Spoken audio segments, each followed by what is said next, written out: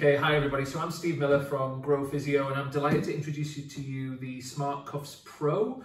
These are an amazing blood flow occlusion um, style training kit. So I'm just going to talk you through how we would apply these really, so and what it comprises of. So this is the pack, which is basically where the monitor is. So again, you're gonna when you get this, it is going to come like this. Everything is really straightforward, really simple to use. You turn it on using the button on this side. You basically then just go on to start exercise. You pick the appropriate upper limb or lower limb component. You just go up or down using these two buttons here.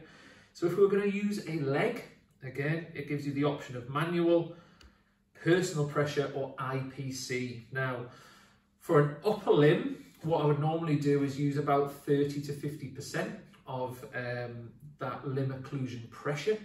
For a lower limb, I'd go for a 50 to maybe 80% um, of that sort of limb occlusion pressure really. And what does that mean? Well, when your blood flow is occluded completely, this has the amazing feature that it works out when that occlusion takes place and then you can program the percentage accordingly. So for example, if we put personal pressure on here, it comes up your chosen LOP percentage. So that's just that limb occlusion pressure we talked about and it's currently set to 30%. If I want to increase it, I just press the button on the left hand side. If I want to reduce the pressure, I just use the one on the right hand side. So if we put it as 30, what will happen then, you can see this end, if it is attached to one of the cuffs, like so. So these are the cuffs that you would use. They have a really nice little clip that you would apply to there. And again, what you're going to do is just wrap that around the athlete um, and fixate that accordingly. That is then going to measure that occlusion pressure uh, and then it is going to automatically work out that pressure there. So I'm just going to turn that off. The other way that you can um, sort of manage that is almost do a full 100% occlusion. Now that is something where you aren't going to get the athlete to exercise with these on. Uh, we haven't used that as much at Newcastle Falcons. We've predominantly used it during exercises. So typical example would be if you attach the cuff around the top of the thigh here, put it up to sort of 50% occlusion level, apply it, and then get the athlete to do some knee extensions, do some squats, do some single leg squat, maybe some split squats. You can even get them onto the watt bikes or the, a static bike really and go through a, a, remit there. Now the usual way that we would apply it is just the, the traditional way that it was recommended really. So what we're going to do is do 30 repetitions. So you need to make sure the athlete can do that already. Depending on what that athlete is going to do, that usually equates to about 20% of their one rep max.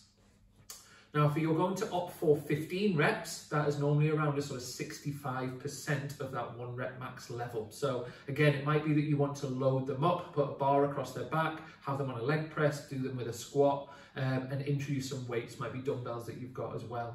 So the usual protocol is 30 repetitions and then 30 to 60 seconds off. Again, depending on what sort of reaction you're getting from the athlete in terms of fatigue levels, you may adjust that accordingly. So you're going to do a 30 repetition uh, blast. You're then going to do a 30 to 60 second rest. Then you're going to drop that to 15 repetitions. Then have the same rest period, 15 repetitions, same rest period, and then 15 repetitions.